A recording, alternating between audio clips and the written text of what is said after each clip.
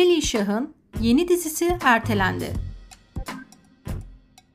Çoğu insanın ölümüne sebep olan koronavirüs salgını herkesin günlük yaşamını etkiledi.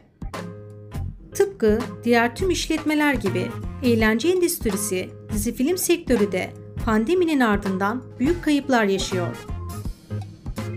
Birçok dizi film sektörü çekimleri süresiz durdurdu. Bıçak Sırtı Sıvara Yeni'de Sıvara karakterine hayat veren oyuncu Heli Şah'ın yeni dizisi olan İşk Meyin Maravan 2'nin de yayın tarihi süresiz durduruldu. Heli Şah yeni gösterisinde Vishal Vishishta ve Rahul Sudir gibi oyuncular ile başrolü paylaşıyordu. Gösteri ertelenmeseydi 30 Mart 2020'de gösterime girecekti. İşk Meyin Maravan 2'de aşk, intikam ve fedakarlık teması işleniyor.